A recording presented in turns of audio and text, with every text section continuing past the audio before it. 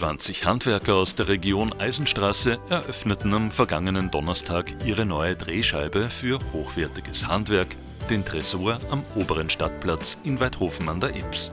Präsentiert werden in dem neuen Laden edle Handwerkschätze, von Dekor- und Geschenksartikel bis hin zu Einrichtungslösungen. Und das Angebot kann sich wahrlich sehen lassen umfasst es doch Glaskunst, Metall- und Holzprodukte, Steine, Buchbinden und vieles mehr bis hin zu gutem Wein. Eine gelungene Geschäftsidee der beiden Initiatoren Viktor Filzwieser und Markus Hönicke. Ich war schon lange auf der Suche nach einer, nach einer Anlaufstation für meinen Weinverkauf. Ja. Und der Viktor Filzwieser, der hat daheim keinen Platz mehr gehabt für seine geschliffenen Steine. Seine Frau hat gesagt, jetzt muss was passieren. Er braucht irgendwo was, wo seine Steine herzahlen kann haben wir gesagt, machen wir was Ordentliches, machen wir gleich was Gescheites, äh, machen wir ein Geschäft, wo wir Handwerker die Chance geben können, dass sie da gemeinsam auftreten, wo sie sich präsentieren können und wir auch unseren Platz finden. So ist das entstanden. Ja. Wir sind in einer übersättigten Gesellschaft mit Massenware aus der ganzen Welt. Wir wollen mit unseren Handwerkern was machen und der Bevölkerung und den Gästen der Region zeigen, was wir mit Eigenproduktion und eigenen Ideen machen können als Alternative zur übersättigten Massenware.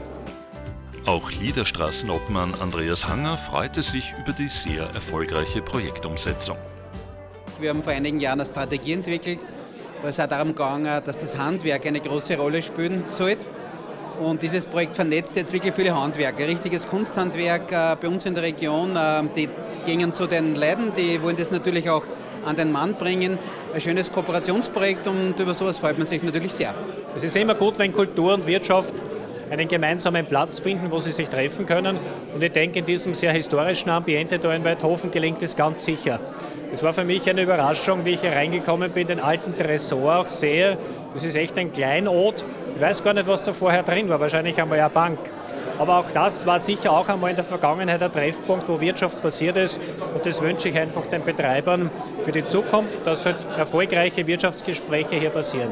Denn das zeigt letztendlich, dass unsere Innenstadt nach wie vor hochattraktiv ist, dass unsere Bemühungen greifen und dass letztendlich dass dieses Geschäft und dieses Konzept auch ein Modell für die Zukunft sein kann. Ganz toll. Das mit dem Tresor ist wohl begründet, war doch vor vielen Jahrzehnten hier eine Bank beheimatet und erwähnter Tresor birgt vor allem nun die Steinexponate von Viktor Filzwieser.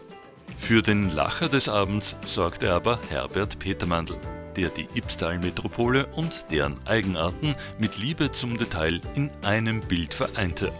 Vom über den Platz stolzierenden Pfau bis hin zur sogenannten Sackgasse mit gelben Säcken entdeckte er doch so manche Eigenheit. Also das ist eine Spezialität von mir. Ich male eine normale Aquarelle auch, sehr brave, aber das mache ich am liebsten. Ich bin ein begeisterter Weidhofen, eine wunderschöne Stadt und äh, die Menschen sagen es aus, was Weidhofen macht dann. Und ich gehe mit offenen Augen durch die Stadt und da höre ich mir das und sehe das und das wird in moderne Form dann umgesetzt. Lauter kleine Weidhofener Geschichten. Humor ist, wenn man trotzdem lacht. Aber äh, das ist es letztendlich, wenn man viel tut, dann muss man und da kann man und darf man auch damit rechnen, dass das bemerkt wird. Das ist das Positive. Schlimm ist, wenn gar nicht über einen geredet wird oder über Aktivitäten, denn dann ist vorbei. Der Tresor ist ab sofort jeweils dienstags und freitags von 9 bis 12.30 Uhr und von 14.30 Uhr bis 18 Uhr geöffnet.